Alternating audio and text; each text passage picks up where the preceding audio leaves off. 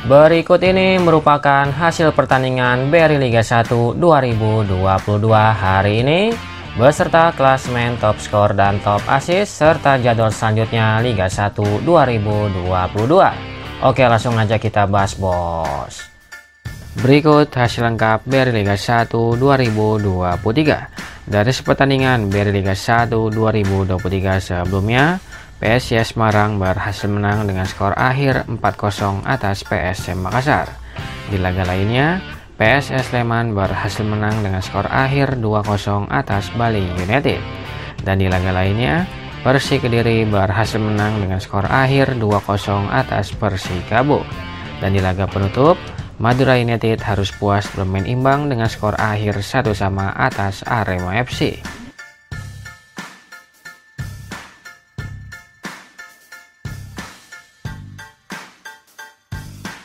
Berikut hasil BRI Liga 1 2023 hari ini, Sabtu tanggal 8 April 2023. Persebaya Surabaya harus puas bermain imbang 3 sama versus Persis Solo.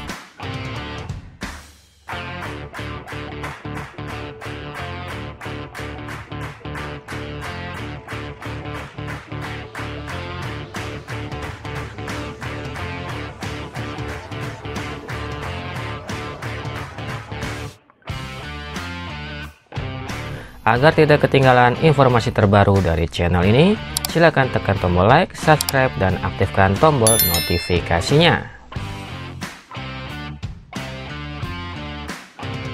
Berikut daftar top skor sementara BRI Liga 1 2022-2023. Di peringkat pertama ada Mateus Pato dari Borneo FC dengan torehan 23 gol dan di peringkat kedua ada David Da Silva dari Persib Bandung dengan torehan 23 gol.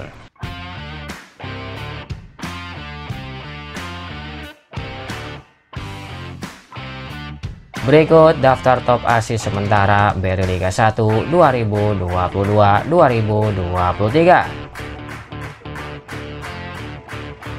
Di peringkat pertama ada Renan Silva dari Persik Kediri dengan torehan 10 asis serta ada Eber Besa dari Bali United dengan torehan 9 assist.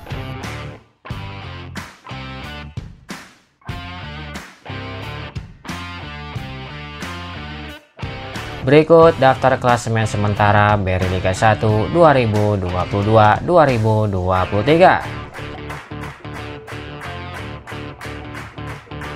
Di peringkat pertama ada PSM Makassar dengan torehan 72 poin.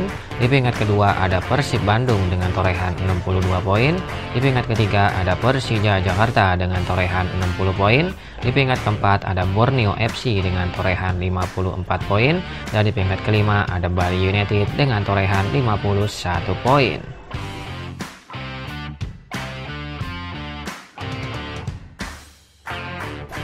Sedangkan untuk peringkat dasar klasmen ada PSS Sleman dengan torehan 34 poin, Dewa United dengan torehan 33 poin, dan ada Ranusantara FC dengan torehan 18 poin.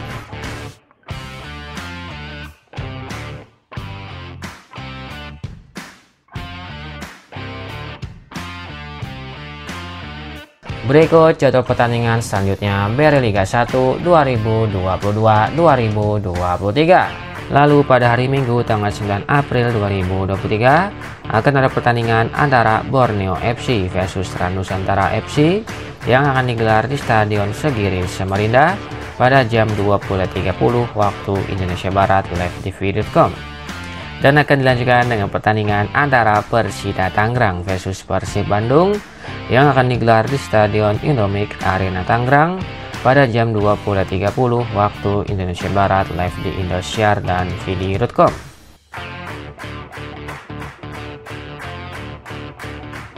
Selanjutnya pada hari Senin tanggal 10 April 2023 akan ada pertandingan antara Dewa United versus Persija Jakarta yang akan digelar di Stadion Indomik Arena Tangerang pada jam 20.30 waktu Indonesia Barat live di Indosiar dan